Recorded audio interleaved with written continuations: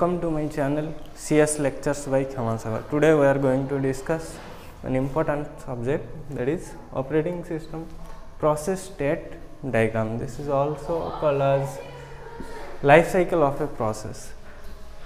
There are majorly five states of a process new, ready, running and waiting and terminated and another two uh, states are there that is suspend ready and suspend when when a process is in creation state that is at that time process are new state and after creation process is transferred to ready state.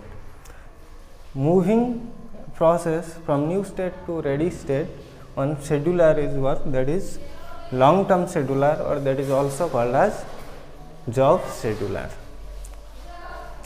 In ready state, number of process may be present and that is the responsibility of short term scheduler or CPU scheduler to select one process and dispatch to running state.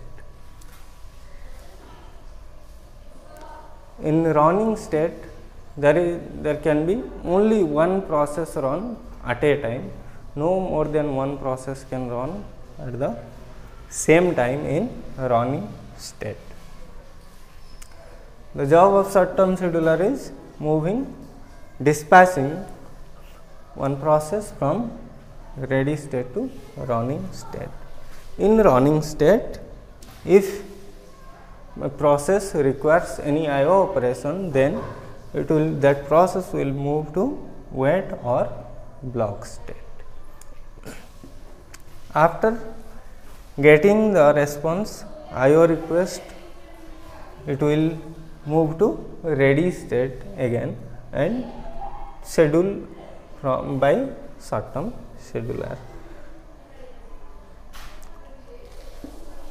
if a process completes its execution it will move to terminated state at the time of waiting or block state if further any resource is required but resource is not available then it will transfer to suspend wait state it is the responsibility of mid term scheduler or medium term scheduler for suspending or resuming of a process. Further, if it will not get any resources after receiving completion of IO operation, further it is required more resources, then it will suspend and it will move to suspend ready state and after getting that resource it will come to ready state and scheduled by the CPU scheduler. Resuming and suspending is the job of mid-term scheduler. This is the entire process of process state or process life cycle.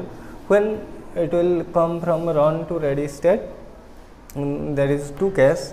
If at the time of running further new process come and its priority is higher than the process running or the running state then it will suspend here or preempted and it will move to a ready state and new process will be scheduled to the running state or in round robin scheduling there is time quantum is there if time quantum expires then it will automatically move to ready state and new process will move to the running state. Next important thing is at when a process is at ready state or running state or wait or block state at that time process is residing in the main memory and in other states it will residing in the secondary memory.